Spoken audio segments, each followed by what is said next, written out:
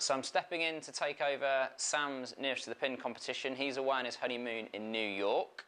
Uh, this week he's picked the 12th hole at Teton Pines, which we think is Torrey Pines, uh, over water.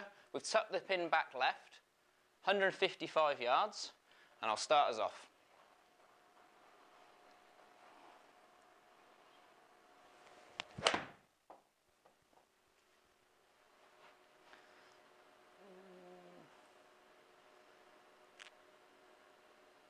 Thirteen feet. I'm sure you can beat that.